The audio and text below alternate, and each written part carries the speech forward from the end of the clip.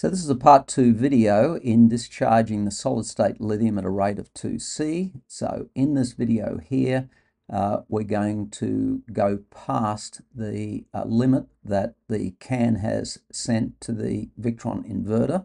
And we're going to show you that now. So you can see here now that there's no modules blocking charge or blocking discharge. It's at 3 amps. You can see the cell voltages at 57, 59.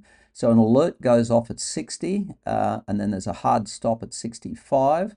Uh, but the uh, what we're going to do now is go into the Victron system now, and on the CAN command uh, uh, feature is uh, turn off the feature that stops the inverter, which is stopped now because of that.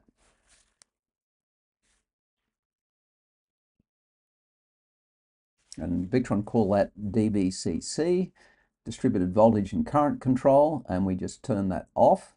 And it's now not sending out that com can command uh, to the battery.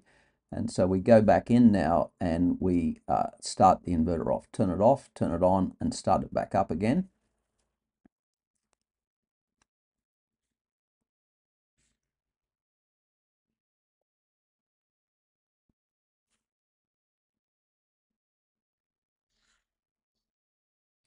Uh, you see now the inverter now uh, is started and we're now going to ramp that current up and just have a look at the temperatures and the cell voltages there while we do this. So we're down to 3 amp hours. Uh, we still have the module online, which means that the relay in the unit, the MOSFETs have not turned off in the battery. All that's happened is it's told the inverter not to run anymore. So we're going to ramp that up a bit and uh, get it up. And of course, because the voltage is, is dropping, the current then goes uh, quite high. So one of the issues we've got here controlling it is at the similar level, we're doing 106 amps. The limit on the BMS is uh, 110. And so uh, let's see how far we can uh, run here. So it's still operating, it's still discharging at the, um, at the uh, 104, 103 amps here.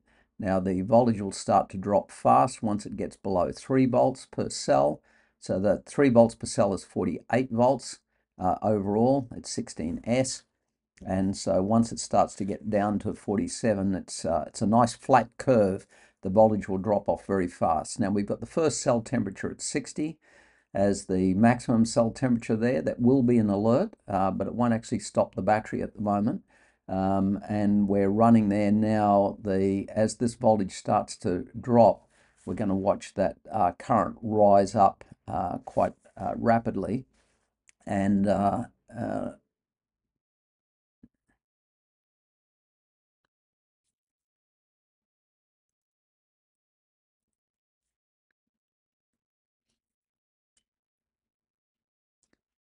we're at 61 now on the temperature. The uh, lower cell voltage is now dropped below 3. And uh, so this gives you a good feeling that at the lowest level, uh, the voltage is going to be around 48. Now it's starting to drop. The current now is at 104, where it's uh, starting to drop fairly fast now. And um, uh, this will now, uh, that current will start to rise, 105.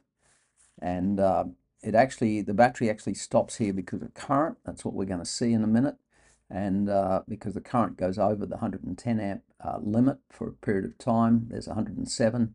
We're just a bit slow on uh, reducing it to keep that current down around the 100 amp mark. Um, and you can see now the cell voltages are down into the 2.8 line. There's 108 amps, 109.